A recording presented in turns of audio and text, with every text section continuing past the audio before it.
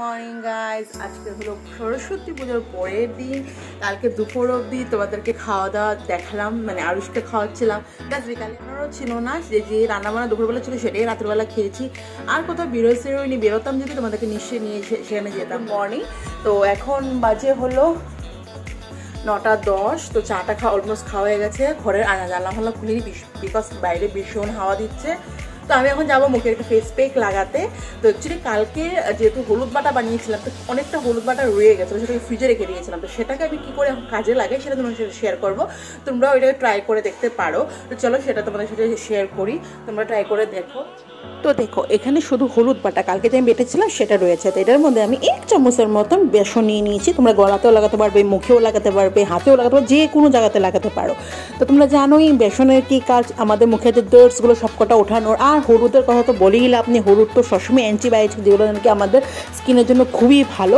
তো এরকম লাগিয়ে টাগিয়ে ব্যাস, এখন তোমরা সংসারে কাজে লেগে পড়ো। তো আমিও তাই করছি, মুখে লাগিয়ে বা সারাদিনের নামে যত কাজকর্ম করতে থাকি, যতক্ষণ মুখে থাকে ততক্ষণই তোমাদের জন্য ভালো।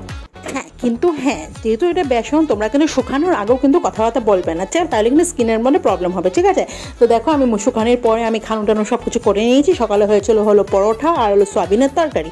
আর এখন পরে বসে পড়েছি দুপুরে রান্না বান্না করতে। দুপুরে হবে হলো উচ্ছের ডাল, মুগ ডাল দিয়ে উচ্ছে দিয়ে শুক্তো টাইপের করব। আর হবে হলো কচু দিয়ে মাছ মানে গাঠি কচু দিয়ে মাছের ঝোল।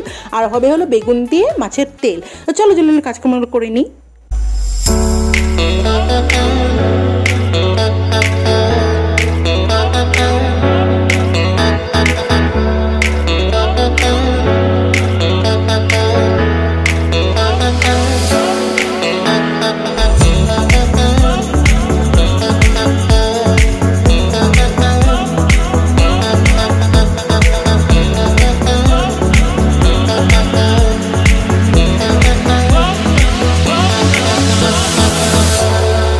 দেখে জানি ভাবছ হ্যাঁ অনিতা আজকে কাজে লেগে পড়েছে কেন?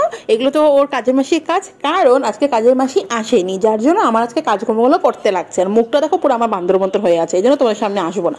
সব কাজকর্মগুলো করে নেব, তারপর তোমাদের কাছে আসব।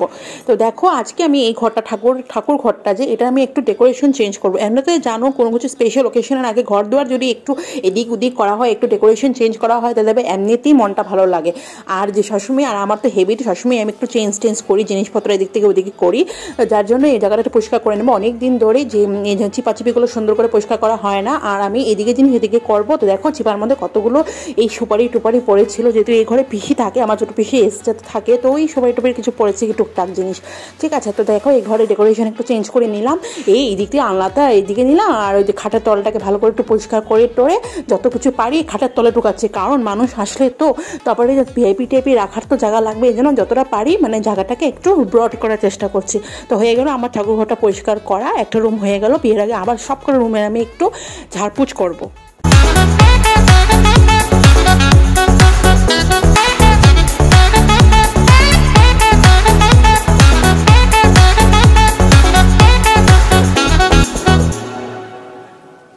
গেল আমার এই ঘরটা ছাড়াছাড়ি কালকে দেখি আমি মাদের রুমটাকে একটু পরিষ্কার করব, বেডশিট ফেডশিট পর্দা পর্দাগুলো আবারও ধোবো সব চাকাচাক করব।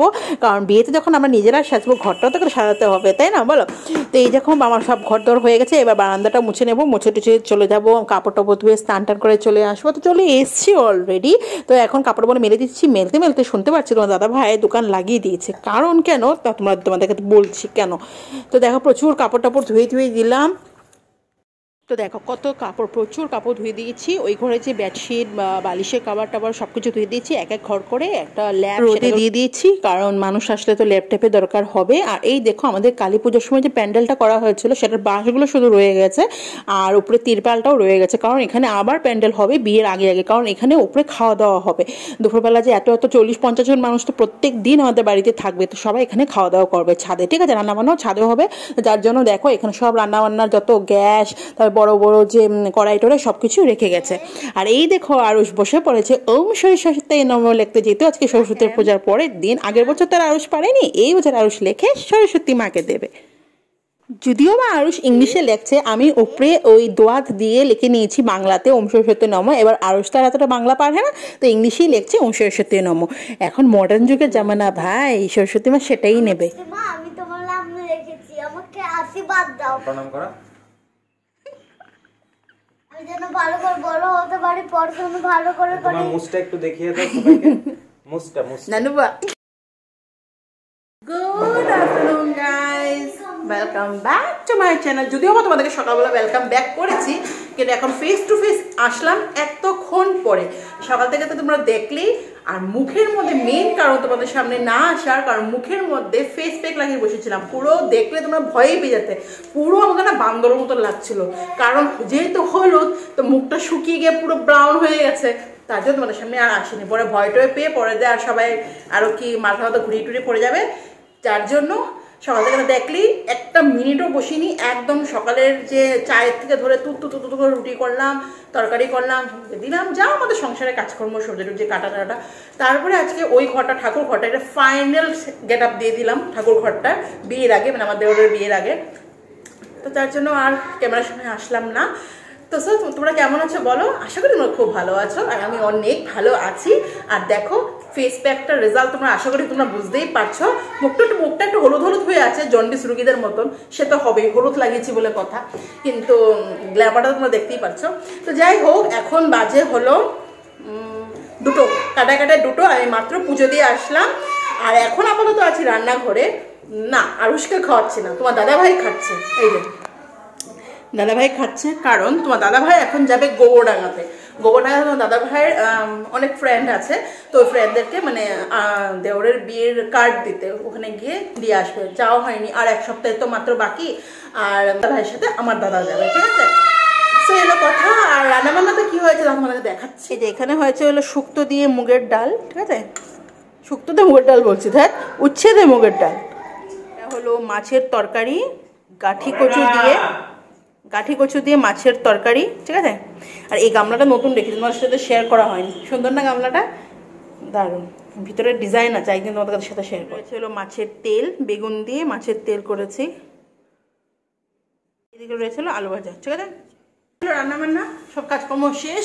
এখন আরুষকে খাওয়াবো। আর তোমরা দেখলে আরুষ এবার প্রথমবার যেহেতু আগের সরস্বতী পূজাতে আরুষ লেখা শিখেনি। তো আমি লিখে দিয়েছিলাম কোনো মতো। কারণ ও লেখা শিখেনি তো কী করবে? আমি ওম সরস্বতী নম্বর লিখে মায়ের সরস্বতীর কাছে দিয়েছিলাম। আর আজকে যেহেতু লেখা সব শিখিয়ে গেছে, সব লিখতে পারে, এই আজকে আরুষকে নিয়ে এই প্রথমবার আরুষকে দিয়ে লেখালাম। তো দেখলে কেমন লিখেছে? একটু ছেঁড়া বেড়া। মা সরস্বতী ঠিক শুনে নেবে, তাই না? বলো। তো এই হলো কথা, তো চলো আর ব্লগটাকে বাড়াচ্ছিলাম দাদা ভাই এখন খাচ্ছে খাচ্ছে রেডি হয়ে এখন বেরোবে। তিনটা এগারোর ট্রেন বনগা লোকাল হবে মানে বনগা লোকালই হবে, তাই না? বনগা লোকাল হ্যাঁ। বনগাঁ লোকাল আমাদের বারাসাত থেকে তিনটে এগারোতে যাবে তো চলো আজকের ব্লগটা এখানেই এন্ড করছি। তোমার সবাই খুব খুব খুব ভালো দেখো নিজের শরীরে খেয়াল রেখো, সুস্থ থেকো, সবসময় হ্যাপি থাকবে, ঠিক আছে? আর আমার অবস্থা দেখতে পাচ্ছ, না কানে, না গলায়। আমার মা দেখে আমাকে নিশ্চয় বলবে ক্যান বলিস শুনি তাহলে কানে, গলায়? আরে এই মাত্র স্নান করে আসলাম। আমার দেখলে তো ছাদে কতগুলো কাপড় মেলে দিয়ে আসলাম।